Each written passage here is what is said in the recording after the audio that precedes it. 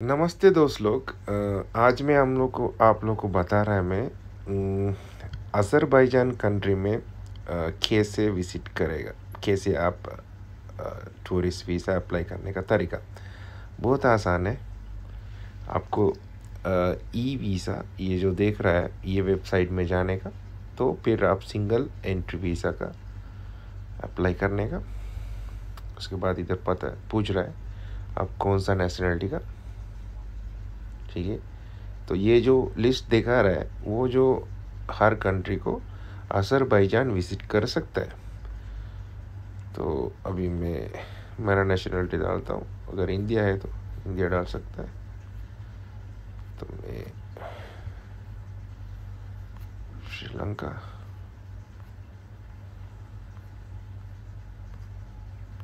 चलो।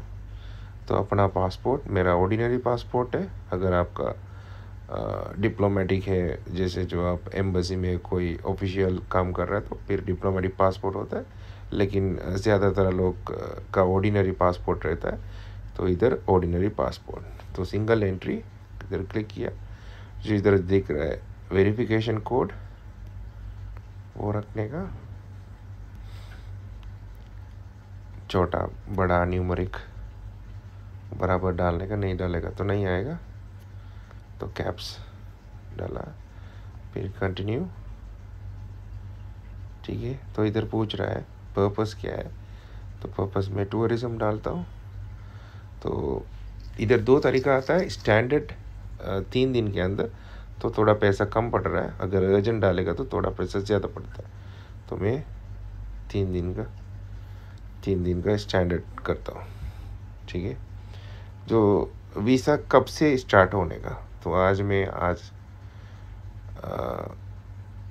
सितंबर twenty two से आता है, कि अगर आज सोलह तारीख है तो तीन दिन के बाद, और जब से वीज़ा प्रोसेस होता है, उस दिन के बाद वीज़ा आता है। नहीं तो आपको फ्यूचर डेट रखने का कब से कब तक है, इधर आपको चुन सकता है। तो उस दिन से तीन महीने तक आपको वीज़ा वैलिडिटी रहता है from date to end date जो इधर अभी देख रहा है, ये थर्टी सितंबर से ट्वेंटी नाइन सितंबर तक आपको वीज़ा इशू करेगा, लेकिन अभी ये दिन, ये ये ड्यूरेशन का अंदर ही आपको एक बार विज़िट कर सकता है, लेकिन जो एक बार आप विज़िट करने के टाइम में थर्टी डेज़ के ऊपर नहीं रह सकते ट्वेंटी नाइन डेज़ उधर रह के वापस आ सकता है। तो पीसा पीस आप लोग को इधर देखा रहा है ट्वेंटी यू डॉलर और फाइव सर्विस चार्जेस फाइव तो टोटल ट्वेंटी फाइव बनता है। तो इधर जाके कंटिन्यू करेगा तो? ठीक है।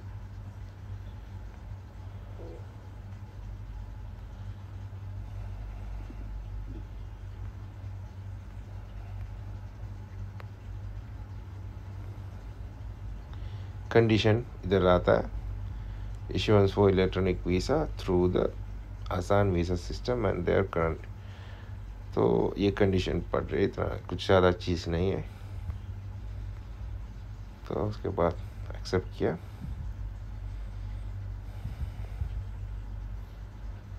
तो इधर पूछ रहा है example copy of travel document जो आपका पासपोर्ट जो इधर डाउनलोड करना चाहिए आ, ये तरीका से जो इधर ग्रीन कलर का दिख रहा है क्लियर होना चाहिए छोटा भी नहीं है वो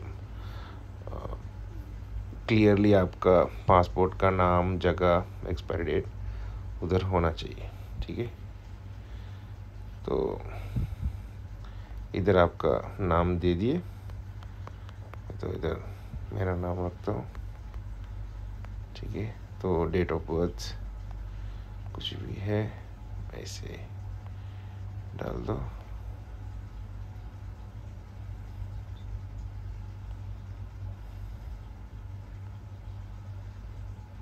Country of birth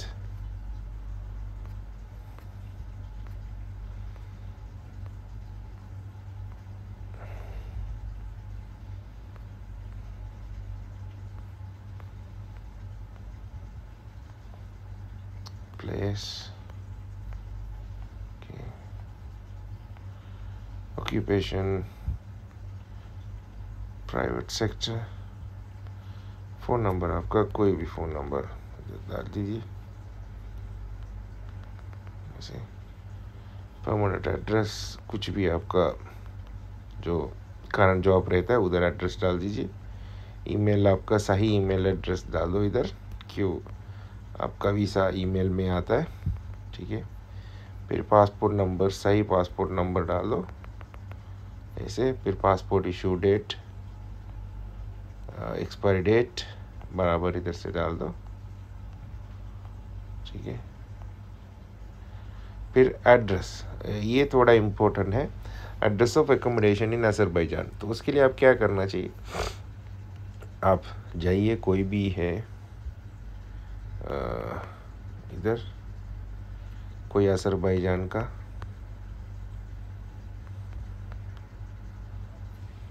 कोई होटल का नाम ढूंढ लिए कोई होटल का वेबसाइट आता है जैसा जब भी मैंने चेक किया। कोई भी अजरबैजान का होटल लीजिए, ठीक है?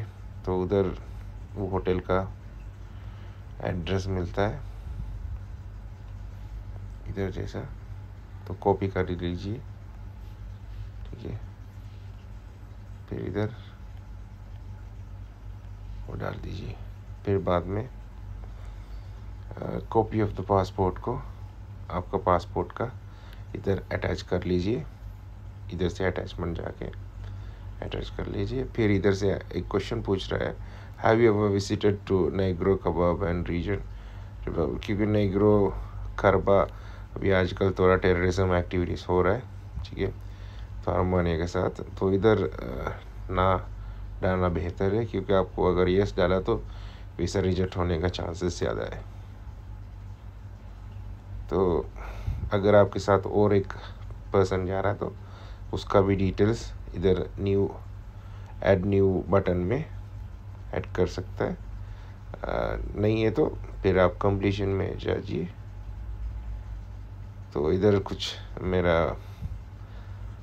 रेसिडेंस का एड्रेस का क्योंकि मैंने गलत आ, मारा इसलिए आता है। नहीं है तो